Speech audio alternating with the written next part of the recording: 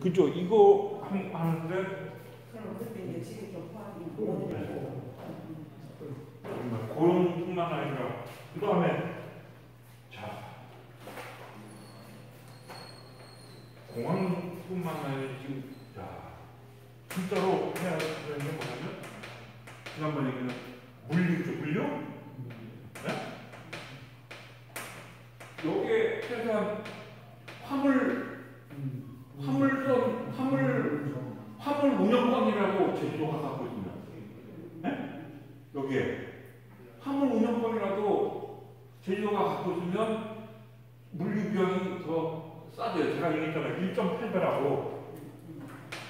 제주도의 물건은 가격이 육지에서 쓰는 거에 1.8배예요. 그러니까 두 개밖에 세 개 못 쓰는 거야. 그 다음에 지금 공항에 있는 거에서 교통 혼잡이 예상이 된다고 해서 제주공항 근처에 기차 얘기가 나오더라고요.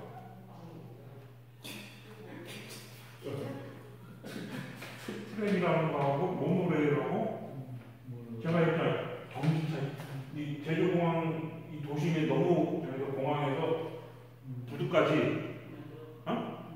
부두까지 5km 그 연동해서 도청까지 4km 그 트램이랑 모노레일을 건설하겠다고 근데 이거는 제가 이 얘기가 이 조그만 구역을 가자고 이 사람들이 그거 안 해요.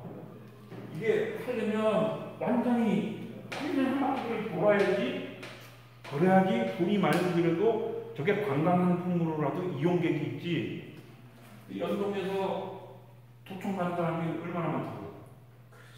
그걸 차를 내버려 두고 그거 타겠어요? 공항에서 누구까지? 아 그거는 뭐 가망성은 있지만 그게 그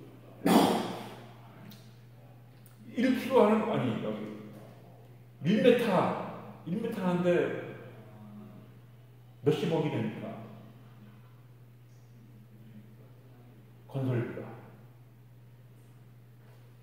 그러니까는 그거보다는 차라리 이거를 뺑 돌려서 에? 뺑 돌려서 일주도로 에? 관광상품이든 뭐든 차라리 다 돌리는 게 낫다라는 거죠. 그 다음에 공항을 쓰는 아까 그 물류 이 내가 보기에는 이 제2 제2 뭐야 신 신부도 어, 그 부, 거기 부도 확장하는 거 그거가 빨리 그거가 사실은 더 좋대요. 왜냐하면 이 물류 비용이 진짜 장난이 아니야. 물류 비용. 그 물류 비용을 줄여야 되고 그 다음에 이거는 에? 자꾸 저기 뭐야 그 주위 사람들한테서라도 자꾸 그 저는 꼭 얘기할 필요가 있어요.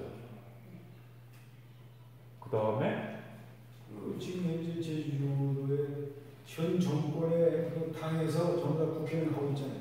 그걸 네.